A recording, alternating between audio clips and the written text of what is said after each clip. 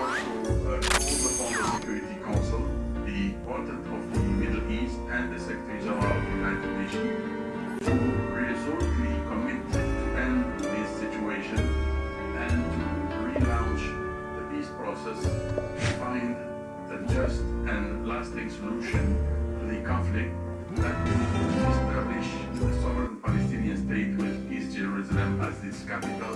in accordance with the relevant